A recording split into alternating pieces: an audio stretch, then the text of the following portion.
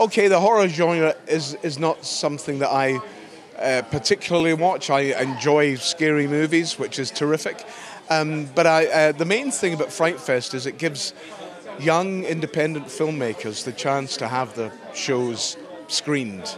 And uh, there's not that many um, uh, festivals that do that. And Fright Fest is fantastic for that, you know, and, and all credit to them. Uh, so, I, yeah, I, I just love working with, with young independent filmmakers. They're the future. Estranged, I, I wouldn't say it's a horror movie. Uh, I would say it's a very dark psychological thriller, which, for my taste, is even even better. You know, I like playing. You know, if you can play with people's minds, it's it's it's much more scary. Um, yeah, so I, it was a great script, and I was uh, met Adam uh, Levins the the director, and uh, yeah, I couldn't wait to work with them. And they've been a great crew and and wonderfully supportive, and uh, it's been a joy.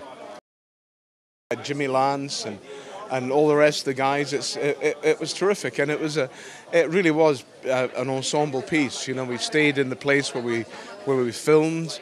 We were there for about six weeks, so we all ate together, and we didn't sleep together, but um, just about everything else. And it was it was very enjoyable. It was it was like a family making a movie. So that's that's always great. And there's a difference between the big budget movies and and independence. You know, it's that sense of of family, of of, of uh, having one aim to make a good movie. You know. I mean, you've been part of some great families, particularly the Thrones family. Um, do you still watch the show now you've left, and, and how do you feel about uh, how the show's been going lately? Well, you know, I've, I don't, I don't re- really watch anything that I'm in because I get a bit embarrassed about it and, and don't really like it.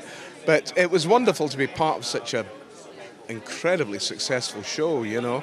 And as far as I know, it's just getting better and better. You know, like season five is meant to be amazing. They are the most extraordinary people. David Benioff and Dan Weiss, the two producers and writers. They're, they are something else.